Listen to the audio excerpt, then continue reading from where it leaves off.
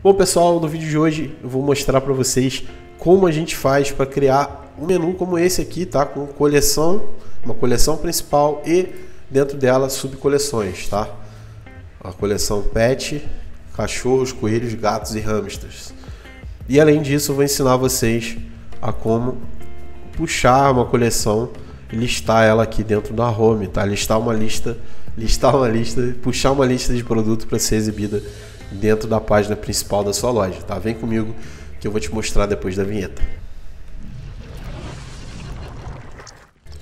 Bom, estou aqui na nossa loja. A loja está totalmente crua, tá? É a estrutura do tema Warehouse. E são três pontos que eu já mostrei no início para vocês. A gente vai ter um menu aqui com, com uma categoria e dentro dela subcategorias. Esse é um ponto importante. O outro a gente vai conseguir listar aqui na, nas coleções os produtos que a gente quer.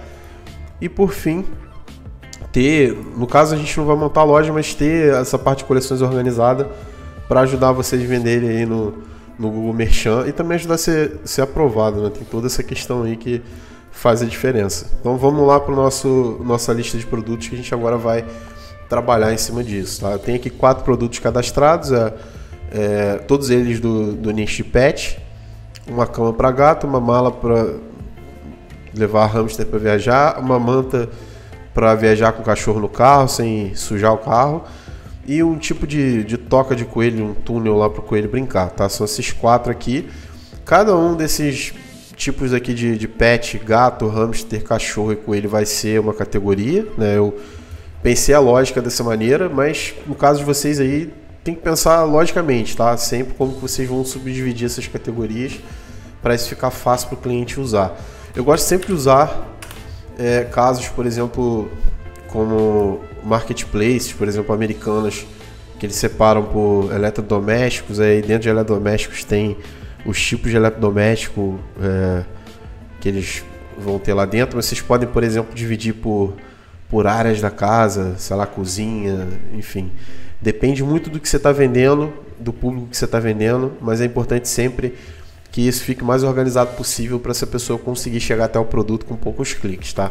No nosso exemplo aqui vai ser um para cada tipo de pet e todos esses vão estar tá dentro da coleção pet, tá? É, a ideia é que essa loja com o tempo vai virando uma loja genérica, mas a gente vai criando esses esses essa organização à medida dos vídeos que a gente for fazendo aqui, tá? Então, vamos lá. O primeiro passo que eu vou fazer é a gente criar essas coleções, tá? Então, vou vir aqui em coleções, vou criar uma coleção, vou dar o primeiro nome aqui de gatos. E aí a gente tem a opção aqui de uma coleção ser manual ou automatizada. Eu geralmente, como eu não tenho, eu não, não tenho loja, né? eu trabalho criando design para loja, eu não faço muito trabalho de cadastro importação de produto, tá?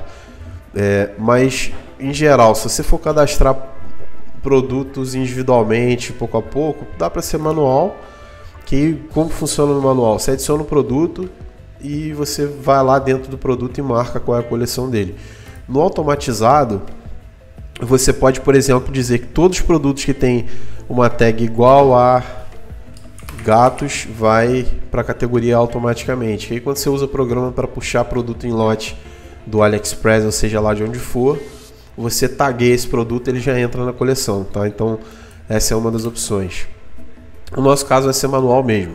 Não vou entrar muito em detalhe desse automatizado. Isso aí talvez vire papo para um próximo vídeo. Se você tiver interesse nesse vídeo, deixa aí na descrição do vídeo, no comentário que a gente troca essa ideia. Tá? Então vou criar aqui a coleção gatos, vou botar manual. Eu não tenho uma imagem de coleção, não faz, não faz sentido eu botar isso agora, porque a gente vai desenvolver o design depois. É, e a descrição ajuda, você pode dizer é, essa tudo que você precisa para o seu gato. Ou acessórios que você precisa para o seu gato. É uma descrição breve do que é a coleção, tá? Poderia ser até uma frase maior aqui. É...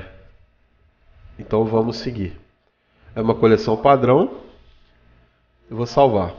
E eu vou repetir esse processo para todas as outras coleções. Tá? Vou criar outra coleção. Cachorros.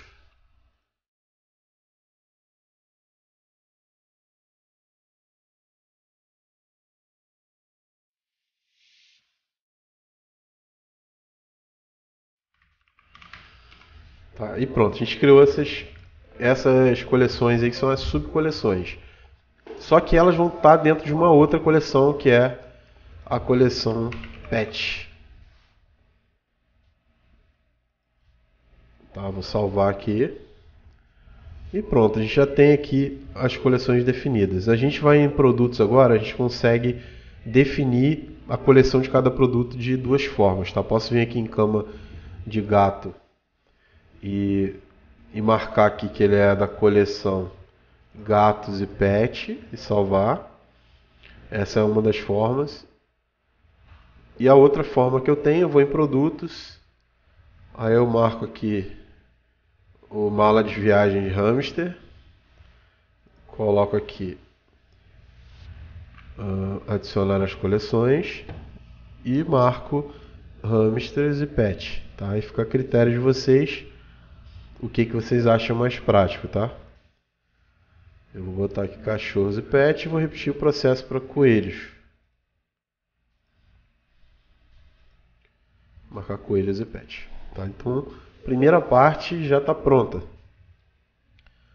Então, se eu quiser agora, por exemplo, vem aqui e vou recarregar essa página. Se eu quiser vir aqui e puxar uma, uma coleção aqui para o meio, para essas features, eu venho aqui na feature que eu quero utilizar, ó, Featured Collection, e vou alterar aqui a coleção para pet. Vou selecionar. Então, automaticamente aparece aqui para mim os produtos que estão dentro dessa coleção.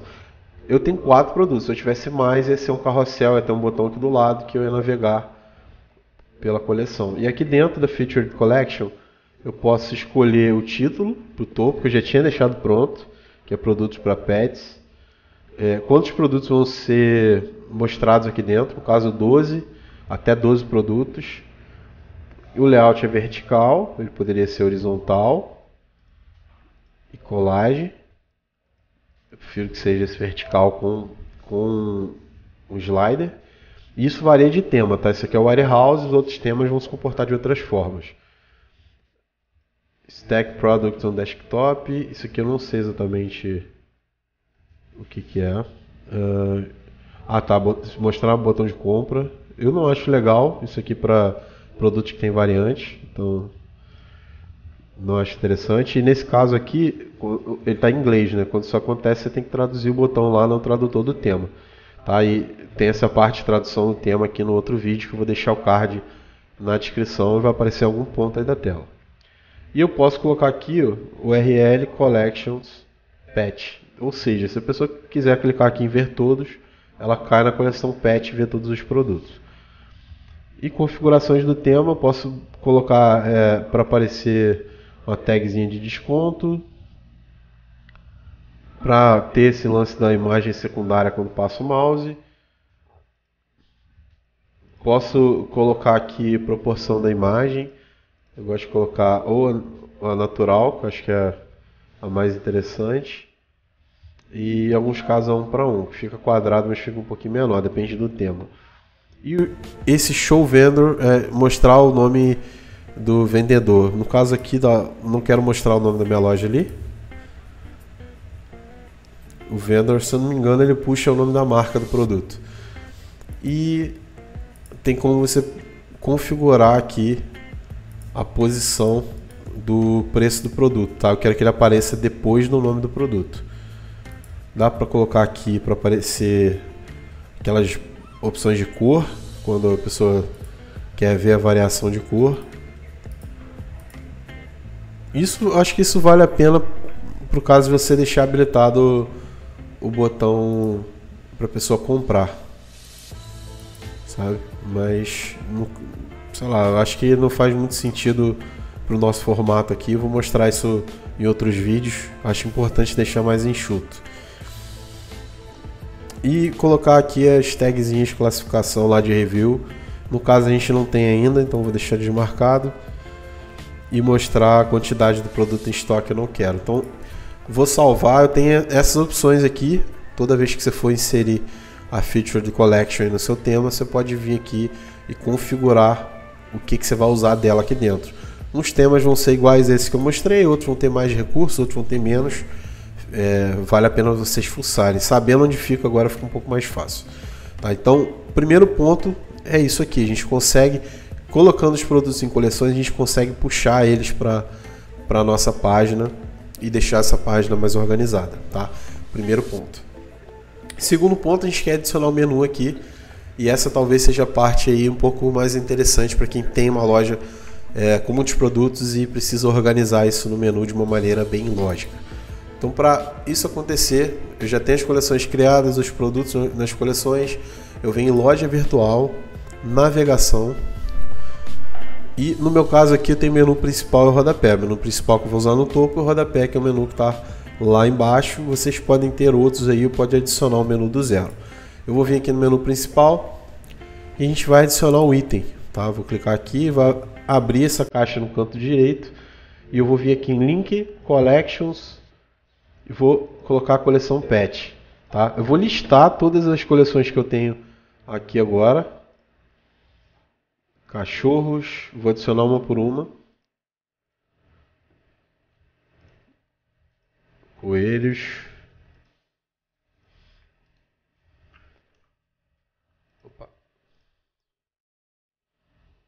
Gatos e hamsters. Vou salvar para a gente já ter isso guardado aqui. E agora o trabalho que a gente vai ter é de organizar, colocar uma coleção como uma subcoleção, por exemplo, aqui de pet. Então, vocês vão ver que aqui no canto ó, tem seis bolinhas em cada coleção.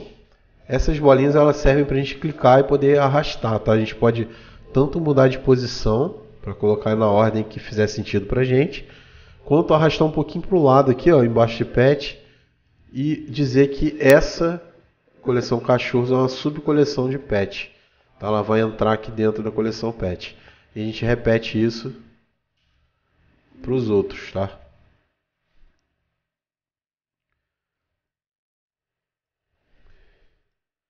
E vou salvar.